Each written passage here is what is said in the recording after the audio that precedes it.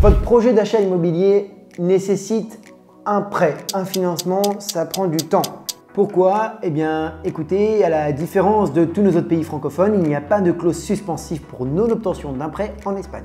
Alors, évidemment, je vois tout de suite les Catalans me dire si dans notre région, s'il y a une clause suspensive pour non-obtention d'un prêt en Espagne. C'est vrai que la Catalogne, en termes de loi et de législation, est beaucoup plus en avance que le reste de l'Espagne. Cependant, dans la pratique, sachez que beaucoup d'agences immobilières indiquent sur leur compromis une clause qui vous fait expressément renoncer à cette clause suspensive.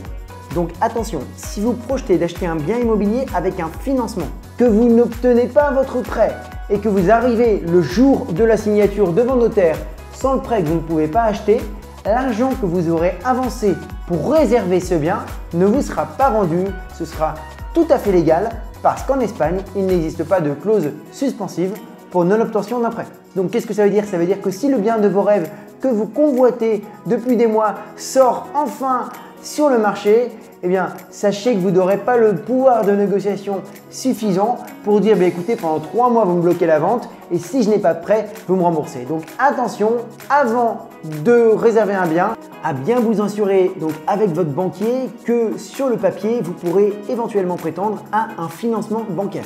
Aussi que vous preniez en compte l'éventuel euh, défaut de la banque. Qu'est-ce que j'entends par là? Je veux dire que la banque, au dernier moment, et c'est déjà arrivé, peut vous lâcher. Bien qu'elle vous ait donné un accord sur le papier, tant qu'un accord écrit n'a pas été signé devant notaire, la banque peut très bien modifier ses conditions et changer son fusil d'épaule.